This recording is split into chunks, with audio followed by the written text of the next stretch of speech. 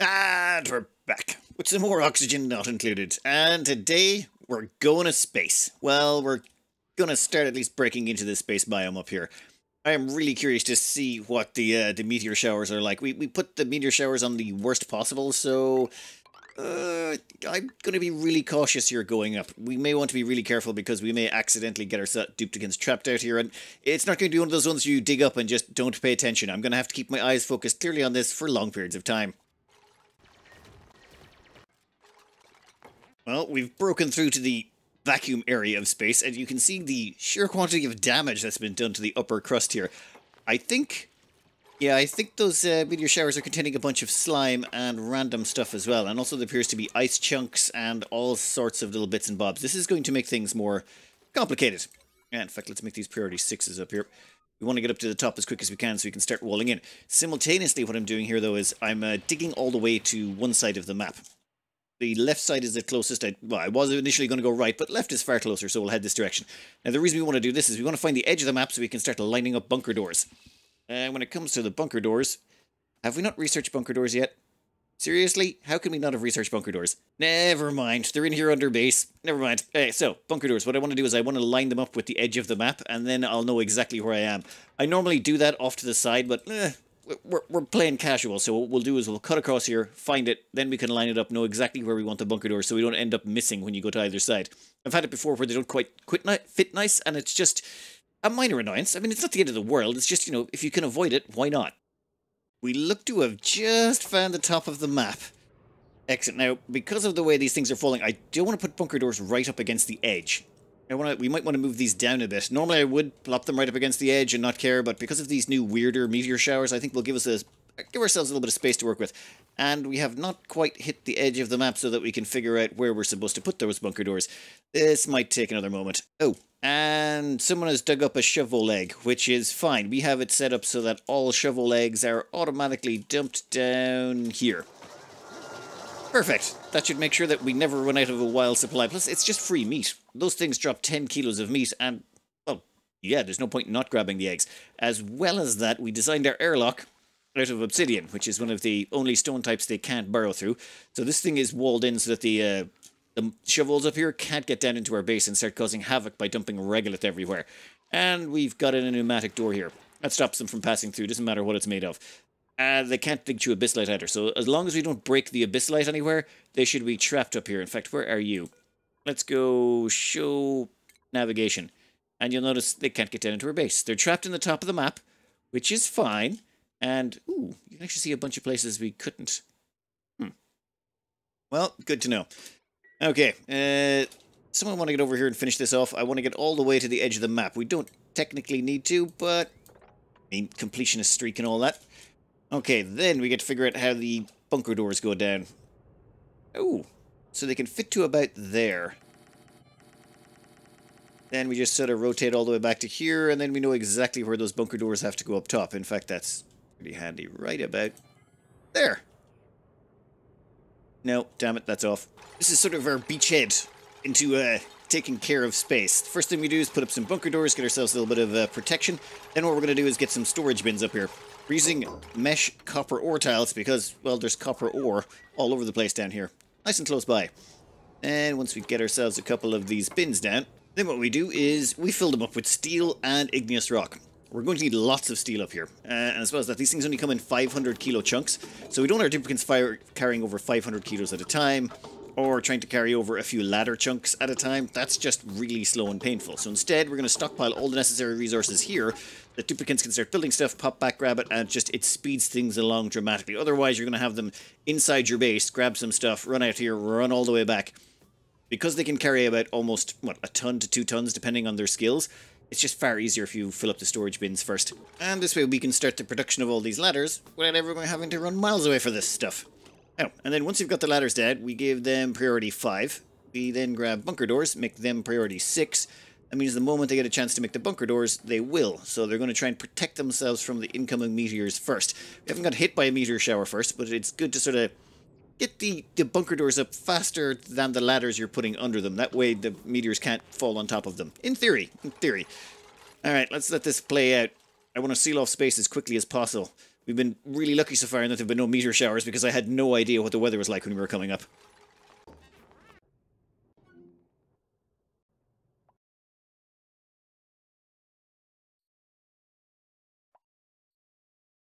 Well, this has gone disturbingly well. There has been literally zero meteor showers. None. I'm I'm actually mildly disappointed that this happened, hasn't kicked in yet. Uh, we're still building this up as much as we can, and down here we're going to, well, we're going to core out this entire area. Everything touching the abyssalite, like the whole way, we're just going to rip it all out. Namely because there's shove vole's in there and shove vole eggs, and we're going to take all those shove vole eggs and put them into our little storage section down here. I mean, they're a valuable source of meat. We can't let them just hang around and do nothing. Uh, at the same time, I made a few changes in here. I have installed radiation lamps. Now, the reason I installed the radiation lamps is, well, I would like to get some mutated seeds at some point, and, well, what we can do is hook these up when someone's doing a bit of harvesting. This cranks up the rads, uh, so there's 389 rads there. It's not going to be great for the water ones. The water absorbs quite a bit, but hopefully we can get the odd mutated seed by doing it this way. Now, this is not the most efficient way of doing things. Uh, the reason being, okay, we'll turn that on as well.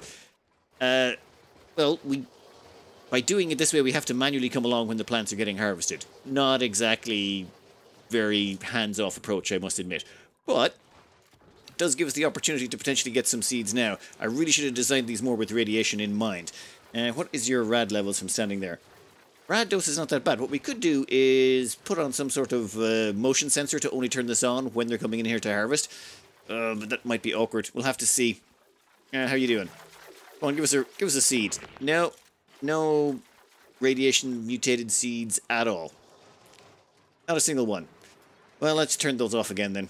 I'm just about done over this end. This is the last of them, and this actually lines up perfectly. For example, if we grab just a normal bunker tile, we can't squeeze anything else in here fits bunker door to bunker door from one side to the other. That's why I try and line them up beforehand. Once I didn't, and it was just... I, I was either going to have to deconstruct all the bunker doors and move them all one or two tiles to a different direction. I'm like, no, no, no, never again. So from now on, I always check to see which side is which. Well, I check one of the sides and then build from there. So perfect. We got them all in one run all the way from one side to the other. Now we just got to core out all of this area. Uh, we don't need to, but I would like to get it done now. Hmm. Actually, we're going to need to get a rocket sent up into space as well, which means we'll need to pick out a location. I would like to make sure we've cleared out enough space for it, though, so this this is all got to go.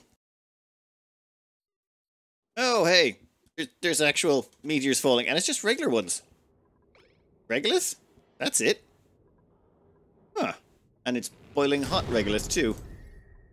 Well, that's going to make things a little bit warmer up top. That's fine. That should hopefully help cut down on the radiation. We are getting about 93 rads leaking through, but now that should cut it down in locations. Eh. Well, it wasn't that... It doesn't matter that much. We haven't got radiation levels cranked up to ridiculous, so we're okay on the radiation front, at least for now. Right, I'm going to get back to just uh, coring this out. Oh, and I'm going to plug these in. We want... Uh, we would like this radiation lamp on because we're about to harvest the sleet wheat, and if we get ourselves some exuberant sleet wheat, I would be very happy. Uh, anything else looking like it's ready to harvest? We have to automate this in some way. Uh, later, later. For now, we got to finish this off. Well, we've got some of this finished, but not all, but I'm thinking we'll take a small little detour. I set up a tiny bit of automation down here. Basically, we've got some motion sensors hooked up, so if duplicants are standing on any of these tiles, it activates the radiation lamps. True, we're only harvesting from the... It'll only turn on for the first three sleet wheat, but I figure they're the ones going to be getting the most radiation anyway. Same up here, the first three, and over here we've actually got a little bit more. We've hooked up two of them, because why not? And a little bit of something similar down here with the mushrooms. And uh, this one was a little bit more awkward. If they stand it... Uh, you know what? It doesn't matter. It'll probably work out okay-ish. If we get a few um, mushrooms that are actually mutated, that would be great as well. I mean, it's not a huge thing, but it would be nice. Now, up here, we want to put in rockets. However, I can never remember how high you're supposed to make the rockets. Is it like 40 tiles high or just, just one moment. We exit the game, enable debug, restart in a save, and then what we're going to do is we're going to actually build a rocket just to make sure we've counted up correctly. I pretty much have to do this every time because I always forget where to place it. One second. Looks like it's 37 tiles all the way to the top. Now that's including the little thing down here. So it's a 35 tile tall rocket for either the petroleum or the hydrogen. good to know. It's just I can never remember that, and you're always better off placing your first rocket. Like your first rocket's going to be short. You're going to be using one of the smaller rocket types, but you might as well start putting them at the same location you're going to put all the rest. So you can keep everything in a nice neat row. All right, now I just got to go and remove that debug file and go back and reload and yeah, the usual. I maybe stopped and did just a little bit more excavation. I mean, how can you not? There's just all this stuff that needs digging out. And I should probably get around it. Oh, and they're still picking up all the ice and snow and stuff out here. And the slime, there's just loads of random junk. Okay, but we have put together ourselves a rocket module, and the height is exactly whoop, 38 tiles below that, or 37 tiles. That is exactly perfect for some sort of hydrogen, all of those engines that we care about. Now, next up, we want to get inside this Spacefarer module and actually construct ourselves some sort of research uh, mobile rocket thing. And I went looking for tutorials online for this, and it turns out the only ones I could find were, well, like, mine, really. I was kind of expecting these things to have evolved a lot, but not much has changed, it seems. So, let's go back to a golden oldie. This might take a minute, and it will make more sense as it gets built. Yeah, I remember spending hours trying to figure out how to design this and make it easily upgradable depending on what technology you had. But, you know, all of that effort in the past has paid off because I just went back and looked at it and went, oh, yeah, yeah, yeah, I can just copy this one. It's perfect. Well, maybe not perfect, but it'll do the job quite nicely, I think. While this is getting constructed, we might want to take care of a few things in the background. We're probably going to want some oxylite. Uh, oxide is one of the best things to stick in those, so hmm, where are we going to stick our oxide production?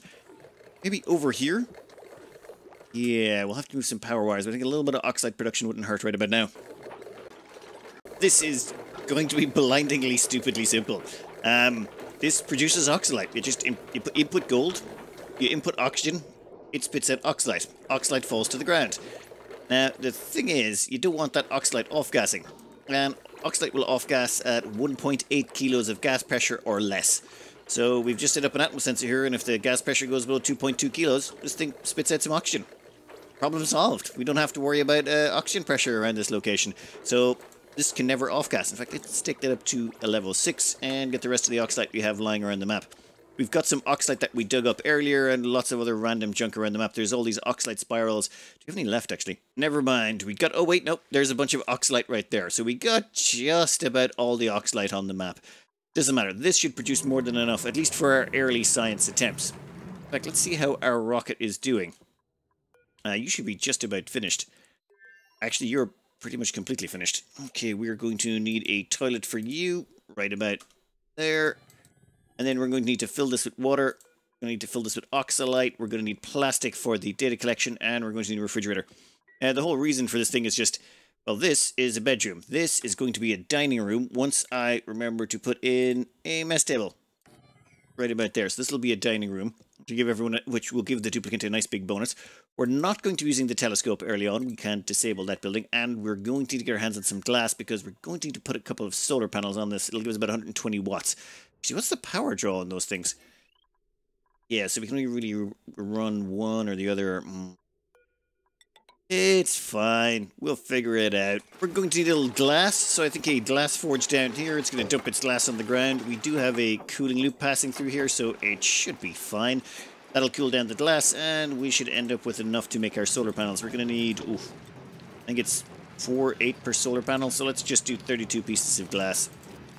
Done. And we'll even chuck some sand in here. That puts us up to 200 glass. So, Let's see how many solar panels we should squeeze on here. I probably should have went with the steam capsule, actually. That probably would have been easier, but, eh, well, it's just putting CO2 on this thing is so much easier.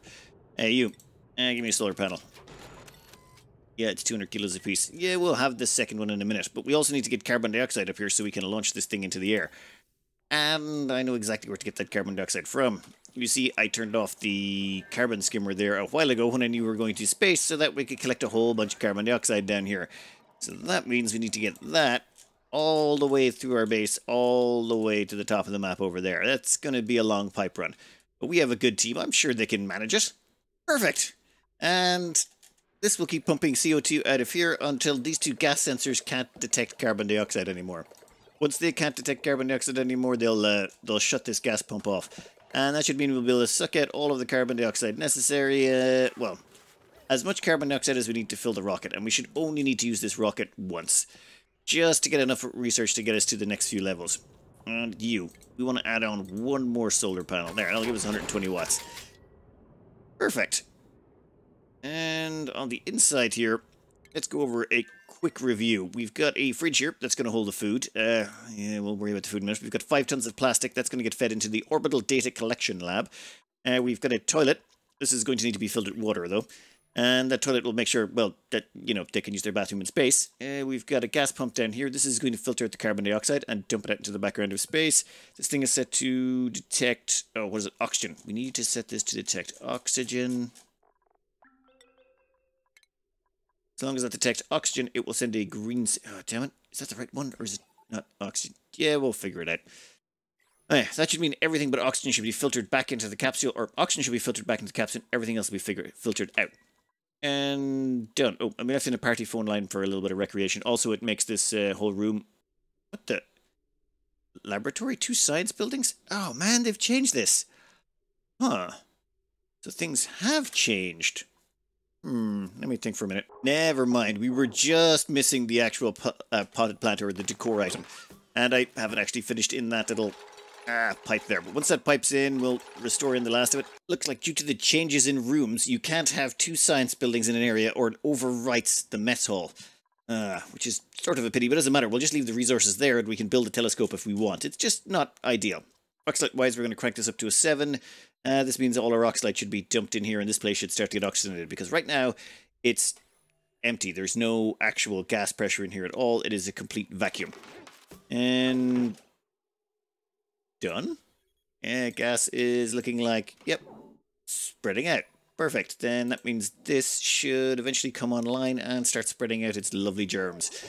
Well, that'll help keep our duplicant happy because we're not going to be able to feed them good while they're here. Not at all at all. For edible foods, we're going to be giving the only thing we've made that can't go off. And by made, I mean, well, we didn't actually make it. So, yeah, muckroot. They're going to get all the muckroot we've got lying around the place. I mean, we've, we've got about 100,000 calories of this stuff.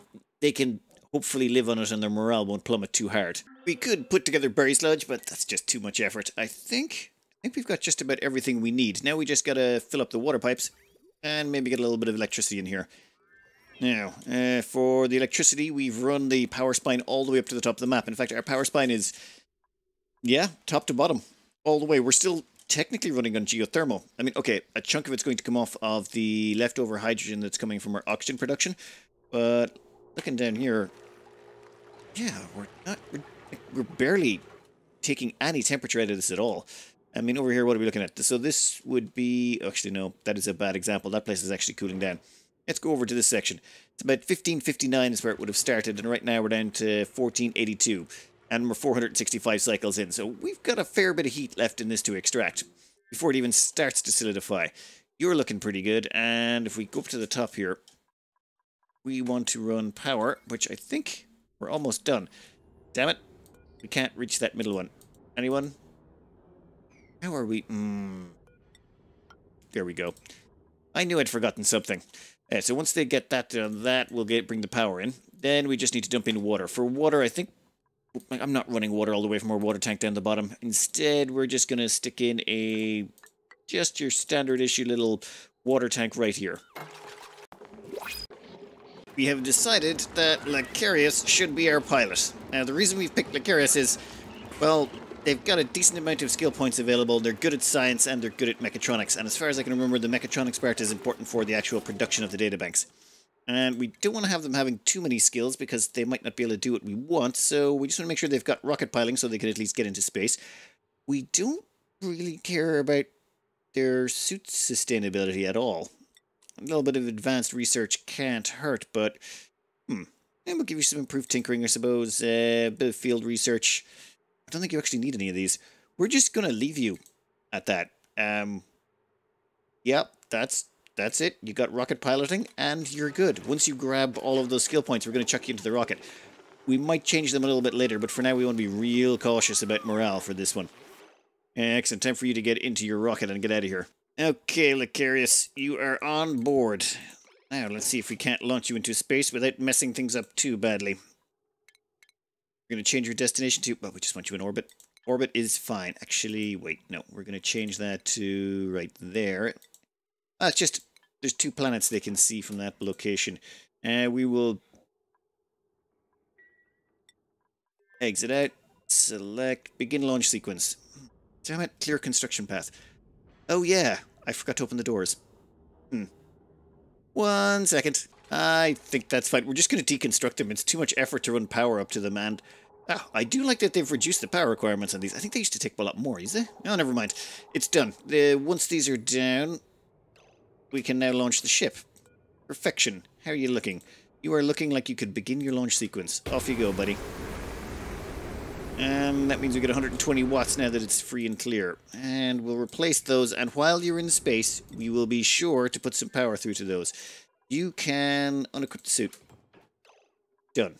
Now we need to do a couple of things. One thing I'd like to do is check out what your schedule is.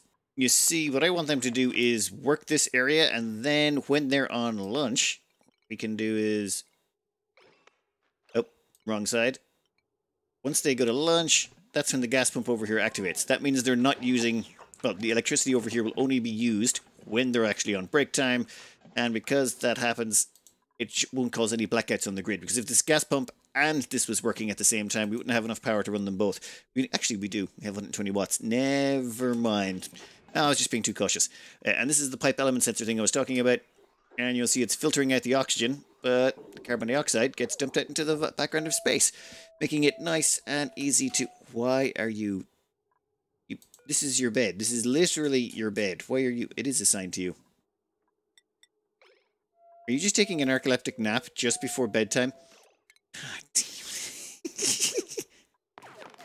there you go. See, there was a bed right there. If you're going to be narcoleptic, at least, you know, be convenient about it. Anyway, they're going to start working on space science for us, which is good. In the meantime, I'm going to run a quick power cable up to the top of the map so that we can open the doors without actually causing a, an apocalypse next time. You, all the way up. This way we can open the doors when the duplicant comes back in the rocket. For now, they're going to be busy churning out as much of those data banks as they possibly can. We can actually start some research on the ground to help out. Uh, for our ground-based research, all we're really missing is, was it, Data Analysis Research Orbital Data Collection Lab. I'm thinking the first thing we're going to want to research is nuclear reactors, because of course we do. I mean, who doesn't want nuclear reactors? They're just the best. Okay, uh, for that though, we actually have a bunch of data banks lying around the place. Where did we put them? Yeah, we've got 50, 82. And the reason we got those is because of, well, you find them in, when you scan volcanoes and things like that, or any of the vents and geysers, if you analyze them, you get some out of that, and you also get some from the buildings you find around the map belonging to Gravitas. So let's check ourselves in. I think one will fit in here. Virtual planetarium, done. That should knock us out nuclear reactors. Now, according to the wiki, we need about to spend about 9,000 plastic to get enough data points to knock out everything. So what we've done is we've equipped this laboratory with about 9,000 plastic, or the recommended number of amount of plastic. Oh, it's really slow. Ugh. We'll probably have to take them down every so often, especially once either the food or the oxygen starts to run low. While we progress science, there's a few things I should probably cover. Uh, we've eaten all the gold amalgam.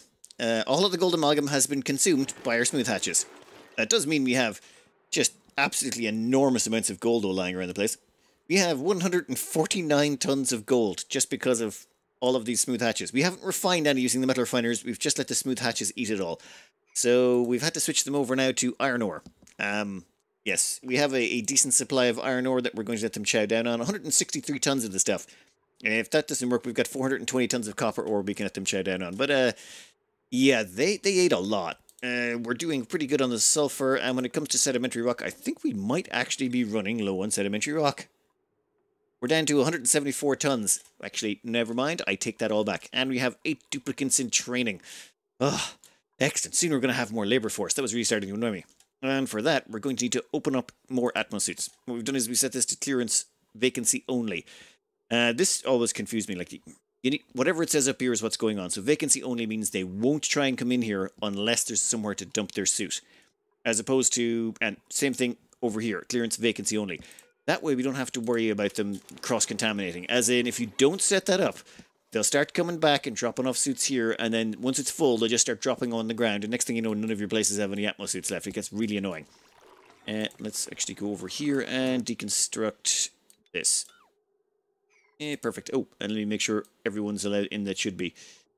Yeah, I think I set this up correctly a while back. Perfect. Right, now we've got two ways out of our base, uh, though they can only come back in, whatever way they leave, they'll have to come back in, roughly. And it does mean it's a shorter trip out to the farms, and we've got twice as many Atmosuits, so more of the duplicants can do more work. That's going to be even more important when the next eight dupes come online. One other thing we did in the background was... ah this aluminum volcano was still causing problems. It would overheat this occasionally. It was causing issues. So we threw in an aqua tuner. We gave up and we're like, you know what? We'll just have to do this easy way. We threw in some salt water because it was nearby. We didn't need any special cooling for this. And all we've got is thermal aqua tuner here. It is actually powered by the steam vents on, or the steam turbines on top of it. So this is completely self-powered. And all it does is it just cools down the steam turbines so they don't overheat. This thing just produces so much electricity. We need to do something along the, this line. And yeah, it seems to be staying pretty low down. And this this volcano has been dormant for a fair while, but there's still just enough latent heat left in this aluminum that every so often it kicks these into gear. They provide more power, and it keeps the battery topped up.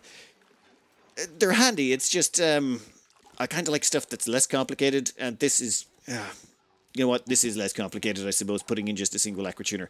It's just the problem. I mm, I think this aluminum volcano was just a little bit too hot for three steam turbines, and it's why it kept seizing up. No matter what I did, I put in I put in temperature shift plates. I tried using aluminum piping through here. I also switched over the steam turbines to lead because it had a, a higher was it higher specific heat capacity, so to take longer for them to overheat. But it's just there's so much heat coming off this volcano it just it kept overpowering all of the steam turbines on top. We even started linking everything, putting the water down in different places. It didn't make a difference. This thing was just too powerful for it. I probably needed a fourth steam turbine, and that's just too big.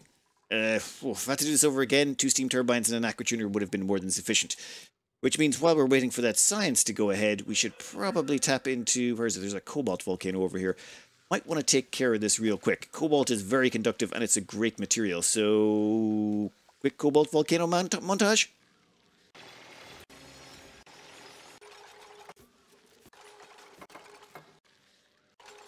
This is going to be disturbingly similar to our normal ones. It's just uh, we've stuck in an aqua tuner. We'll have to power it up a bit at first to get the initial cooling loop nice and cool. But this is just some salt water we grabbed from right over here in this tank. It's a little bit warm to start, but it's fine. It'll cool this down. We'll have to spend a little bit of electricity to get it started, but then we don't really have to worry about it. We're not doing anything fancy. We're not even trying to cool the metals down very much. We just want this to not break ever. That was really quick. I should have done that about 100 cycles ago. Could have had some cobalt by now, though. It, uh, it's going to be 49 cycles before this thing is active again. Hey, got 8 data banks out of it, though. We stuck in a couple of batteries as well. This is just to give it a little bit of tide it over between uh, activations. But this should work out just fine, and it'll help cool down this entire area. In fact, let's just cut off the power. I don't think it needs any more. And you can go there, and... done. Okay, how is our, uh, how is our rocket looking? You have 192 units. You still got 8,600 kilos of plastic left to process. That's going to take a while. Uh, Research-wise, we have already knocked out nuclear reactors. Where is it? Ah, nuclear reactors are done, or reactor research, and we've also grabbed the diamond press. Not sure exactly where to go from here. I really do want to get Radbolt propulsion, though. What do we need for that? Eh, just jetpacks. Ooh, meteor blaster. I really want to try that out. Alright, let's get go straight for Radbolt engines then. I appear to be dead time for the day. I should have had this video released already. Uh, yeah, this is sort of to make up for the one I never got out last week. I decided to, well, I needed to get another video out. I don't like missing episodes. It feels like, yeah, it feels unprofessional. You know what I mean? I'm gonna go render this video, and then in the background, I'm gonna go tame these two iron volcanoes. I should have done this ages ago, but I figure, well, now's as good a time as anyway. Anyway, I uh, hope you enjoyed your weekend, and uh, good luck.